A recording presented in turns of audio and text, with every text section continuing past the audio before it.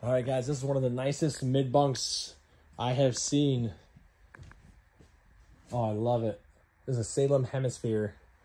Table and chairs, theater seat recliners. Look at how big these windows are. I love all the accent lighting. I love the colors. Oh yeah, I love those lights under the island. Gives it a nice pop. I love this refrigerator. Look at this. How cool. You don't see that in a normal camper. Huge pantry right here. Motion sensor light. Look at that. Two AC units. Oh, what's this? Oh, it's a mid bunk. Check it out. Queen size bed in the mid bunk, or that flips up to be a couch. And you have a top bunk. All this extra storage. Floating steps. You have a loft up top. Then washer and dryer prepped in your master. Then a beautiful bathroom.